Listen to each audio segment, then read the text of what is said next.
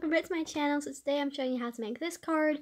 So I'm taking the, I can't pronounce it, but it's a crafter's companion. It's a little bird um, stamp and I'm going to be cutting this out so it didn't really bother me too much about the outside images.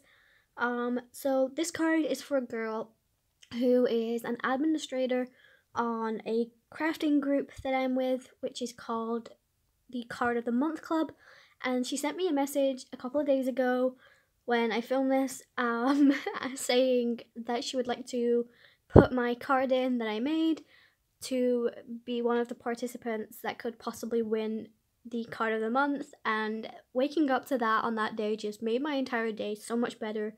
And I really wanted to say thank you. So I sent her a thank you card which I made a while back which is on my channel. And I also wanted to make her something a little cute so I thought I'd use this. So I'm just going to color this in using some pro markers. So I'll insert a time frame and some music, guys. And I'll also speed it up a little bit. So I hope you guys enjoy, and I'll see you in a second.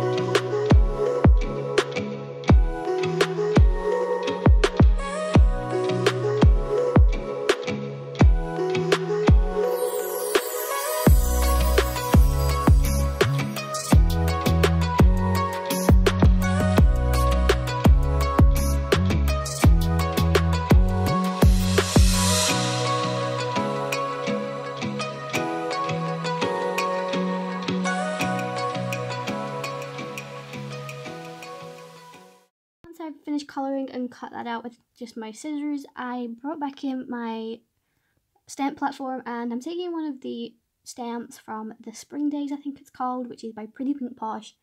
So she has something, like she's playing in a field of flowers or something. Originally I was going to do a picket fence, but to purchase that day it would have took about a month to get to me and I just didn't see the point. So Thought I'd use something that I already had in my stash, and this is the outcome. Also, I apologize for that bit, I was zoomed in.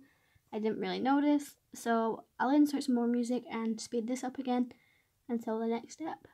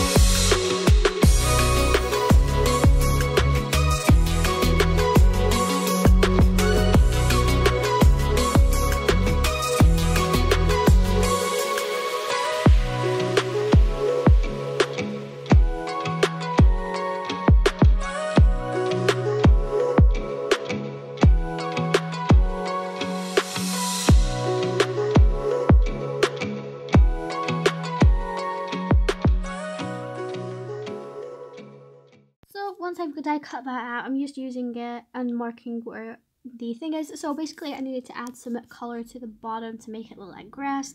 So I just did a line of that so it's the same measurement and height.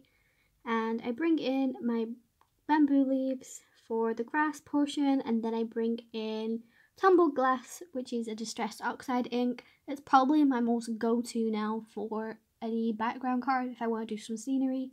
So I definitely recommend it. Um, yeah, so I just used that on the background. I don't show you the process because I think it just takes too long. Um, and I also brought in the grass scene stencil by Waffle Flower to add some clouds into the background so it was kind of obvious that it was the sky, if that makes sense. So yeah. So this is what the image looks like. I think it's so cute. It just reminds me of something like a little doll, I guess you could say. Um, I'm not entirely sure, but I was trying to work out the best placements for my um, clouds, and this is what I ended up going with. And yeah, I love how this card turned out. I think it's one of my favorites today. Um, I just think it's so cute. You could use this stamp for any little um, little girl's card, or you could use it for somebody that you know who's a bird watcher, you know, and likes watching the birds. So yeah, I guess you could do that. So I love peeling my stencils away once I've finished ink blending. I love the crisp, clear images that come with it. So I'm going to use my Tombow Mono liquid aqua glue to glue down the images. And then I use some 3D foam adhesive squares for the flowers just to prop those up a little bit. And then I brought in some embellishments by Little Things and Lucy's. So I brought in Snowball, um, soft snowball mix, and I also added some bubbles, if I remember rightly, to the dandelions. And I brought Wink of Stella in to add some glitter to her hair bows and the clouds. I just realised that I actually used Spectrum Noir Sparkle Pen for her hair bows but they both do the same thing. Um, sometimes my Spectrum Noir pen can be too much, um, whereas my Wink of Stella is just enough. Um, also, Wink of Stella has more of a gold tone to it, whereas the Wink of the Wink of I got Wink of Stella on the brain, guys. Whereas the Spectrum Noir actually has more of a silver tone. So, if you needed to know the difference, that's the difference. I also used a stamp from the Beach Chicks for the sentiment, so it says, Wishing you an amazing day like she made my day, so I hope this helps bring a smile to her. Um, I love the message she sent me. She sent me a message saying that she was currently working from home in her backyard and it was really warm over there. They have a heat wave just like we do, um, but there's just a little bit warmer. and she said that she really wished that she had a pool in her yard and that she was pretending her desk was like one of the swim up pool bars that you have on holiday. So I thought that was really funny. So she really made my day with that as well. So a big shout out to Jackie. Also, I will link down the Facebook group if you guys want to check it out. And yeah, so that's it for my video, guys. I hope you guys enjoyed. If you did, make sure you hit that like button, comment down below, and follow me over on my Instagram and subscribe, guys, because it really makes a difference to me. And yeah, so I'll see you in my next video, guys. Stay safe and happy crafting.